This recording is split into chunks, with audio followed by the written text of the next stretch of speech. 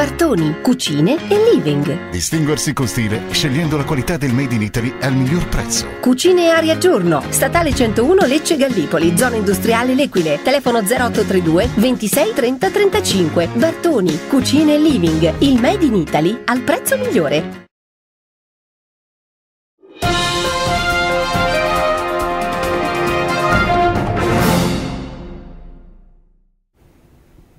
Tenta di uccidere il figlio, arrestato. Estorce denaro ai genitori, per lui scattano le manette. Chi non muore si rivede il giorno dopo. Francesca Nicoli, un successo il suo concerto a San Pietro in Lama. Lecce, da stasera tutti in ritiro. Buongiorno e ben ritrovati con TG News 24. Apriamo con una notizia di cronaca. Un 41enne di Lizzanello, tossicodipendente, da tempo minacciava i genitori che ieri hanno avuto il coraggio di richiedere l'intervento dei militari. Ora si trova in carcere per estorsione. Ascoltiamo il servizio di Miriam Gabelloni. Una vicenda che va avanti da molto tempo e che ieri sera si è finalmente conclusa con l'arresto di Antonio Nuzzaci, 41enne di Lizzanello Magellaio, responsabile di estorsione nei confronti dei suoi genitori. L'uomo con problemi di tossicodipendenza aveva iniziato a minacciare gli anziani genitori con i quali viveva di farsi consegnare ogni giorno dei soldi. Le due vittime non avevano alternativa, o assecondavano le continue richieste del figlio o erano costretti a subire minacce e percosse e ad assistere ai danneggiamenti in casa frutto dell'ira del figlio. Di fronte a tanta rabbia e violenza i genitori non hanno mai avuto la forza di contrastarlo, di ribellarsi e quindi pagavano quotidianamente. Dopo l'ennesima lite tra le mura domestiche ieri mattina si è verificato un episodio ancora più grave. Antonio Nuzzaci ha iniziato a minacciarli per avere 50 euro, subito dopo si è allontanato da casa. Ma al suo rientro, dinanzi alle resistenze dei due pensionati, la sua rabbia lo ha indotto a spaccare una bottiglia di vetro e a puntarla contro la madre e il padre, che anche in questa circostanza sono stati costretti a sottostare e a consegnargli i soldi. Subito dopo, però, stanchi e impauriti, hanno richiesto l'intervento dei carabinieri di Rizzanello, a cui hanno spiegato nei minimi particolari la gravità dell'accaduto. I militari hanno iniziato così le indagini volte alla ricerca dell'uomo e ad accertare la versione fornita loro dai genitori del 41enne. In serata Antonio Nuzzaci è stato rintracciato ed arrestato per estorsione. Ancora cronaca, dovrà scontare 4 anni e 6 mesi in carcere il 73enne di Galatone che ha tentato di uccidere suo figlio appiccando fuoco a delle bombole di GPL collocate nella propria abitazione. Andrea Franchini. Tentato omicidio è questo il reato contestato ad un uomo di Galatone 73enne arrestato dai carabinieri della locale stazione ieri sera a seguito della notifica di un ordine di esecuzione per la carcerazione messo dalla Procura della Repubblica di Lecce. Dovrà scontare la pena di 4 anni e 6 mesi di reclusione per aver cercato di uccidere il figlio, accettando senza riserve anche il rischio di provocare il decesso dei sei nipoti. Il fatto risale al 14 gennaio 2005 quando l'uomo ha collocato in corrispondenza del vano Scala all'interno della sua residenza due bidoni metallici contenenti GPL a cui avrebbe dato fuoco al fine di provocare il crollo dell'abitazione e la morte dei suoi familiari. Per fortuna il suo intento non andò a buon fine per ragioni indipendenti dalla sua volontà. Dalle bombole infatti si sprigionarono violente fiamme che provocarono un intenso rumore, al punto tale da svegliare uno dei figli che chiamò immediatamente i vigili del fuoco. Spente le fiamme ancora in atto al loro arrivo, sono stati scongiurati anche lo scoppio delle bombole e il crollo dell'abitazione. Cambiamo argomento, passiamo alla politica. Questa mattina a Palazzo Carafa si è parlato di alcune criticità nelle periferie leccesi con i rispettivi presidenti di quartiere. Durante la conferenza spazio anche alla promozione di nuovi eventi estivi. Ascoltiamo. Un incontro per discutere delle criticità vigenti all'interno delle periferie leccesi con relative proposte di soluzione. Ma non solo. Nell'occasione si è parlato anche di un'iniziativa legata agli eventi promossi dai quartieri di Lecce, al via questa sera in Piazza Tafuro con inizio ore 21. Proprio per tale motivo nella sala giunta di Palazzo Carafa c'erano i presidenti circoscrizionali Mariangela De Carlo, Fabio Campobasso, Pasquale Sicuro e Carmelo Isola. Dall'esito della riunione sono emersi dei disagi che, a detta degli stessi presidenti di circoscrizione, potrebbero perfettamente essere evitati.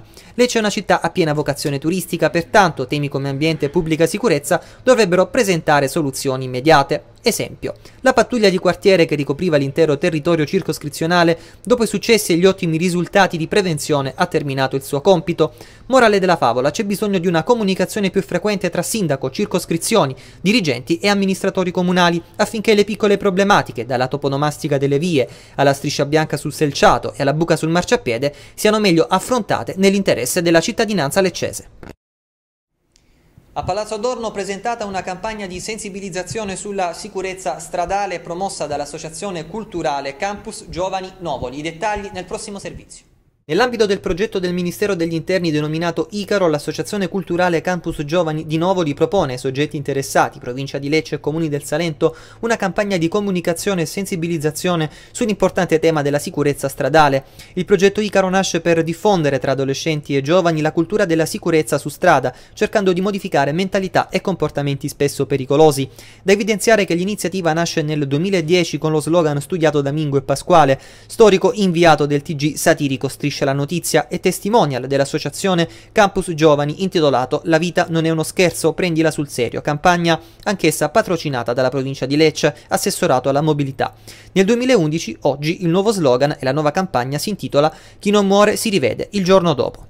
Certo, anche quest'anno, come l'anno scorso, eh, l'impegno sulla sicurezza stradale, poi l'estate insomma sapete come vanno le cose, no? però quest'anno eh, diciamo, ci siamo inventati uno slogan un po' diverso, eh, più eh, alla portata di tutti ed è un, un, luogo comune perché dice chi non muore si rivede, puntini puntini, il giorno dopo, quindi è, un, è una classica frase che si usa nel quotidiano no?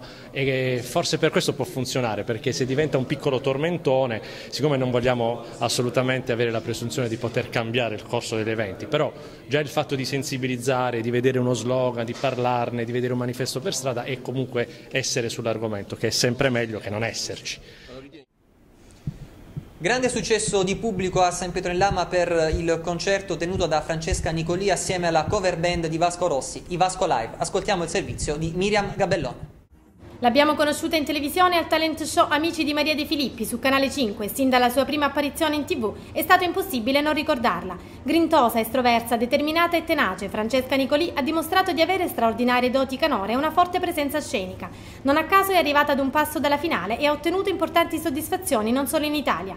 E dal piccolo schermo è approdata nella sua San Pietro in Lama, dove si è esibita in concerto in occasione dei festeggiamenti del Santo Patrono San Pietro Apostolo. Sono molto contenta di essere qui stasera perché per me è un onore cantare nel paese dove sono nata, dove sono cresciuta, dove continuo a crescere. Io devo esprimere una grande soddisfazione per eh, l'organizzazione proprio di questa festa e un grazie va sicuramente al neo comitato festa che si è costituito attorno a una base che c'era già negli anni scorsi e che hanno collaborato in maniera intensa e con grande impegno per eh, regalarci questa festa piena di eventi eh, civili e religiosi. Una serata ricca di emozioni, quella sponsorizzata da McDonald's. A salire sul palco intorno alle 22, prima i Vasco Live, cover band di Antonio Toma, che hanno riproposto i brani del celebre cantante rock Vasco Rossi, da Alba Chiara a È colpa di Alfredo. Poi alle 23 un'esplosione di applausi e grida per la neostar di San Pietro, Checca Nicolì. Per lei oltre 2000 fan hanno invaso il paese del Salento, hanno cantato le sue canzoni, quelle che l'hanno resa famosa e che ne hanno determinato il suo successo. Un bel ritorno a casa, insomma, per la diciottenne piena di talento e desiderosa di trasmettere sempre le sue emozioni attraverso il canto. Sono bugiata, l'amore c'è, è dentro di me.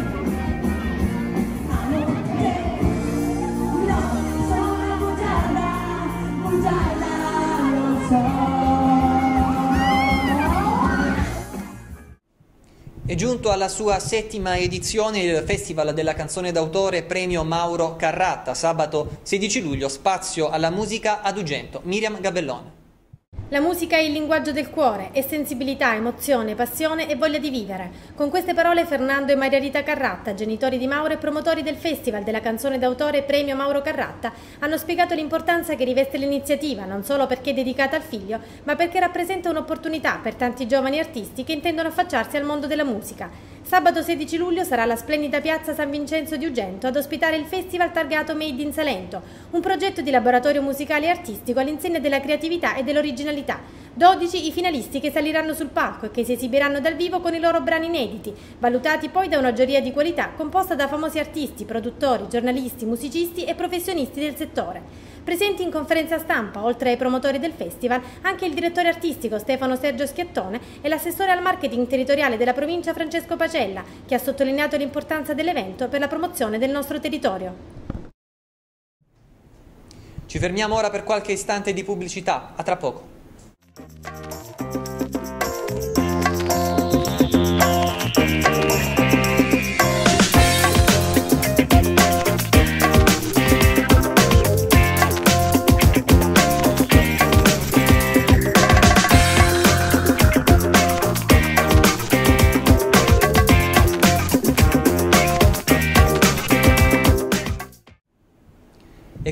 Concludiamo come sempre con lo sport, si complica l'arrivo di Leandro Greco a Lecce, questa sera intanto i giocatori si ritroveranno a Tarvisio, assente Chevanton, ci saranno però Diamutene e Mesba, il punto con Luigi Taurino.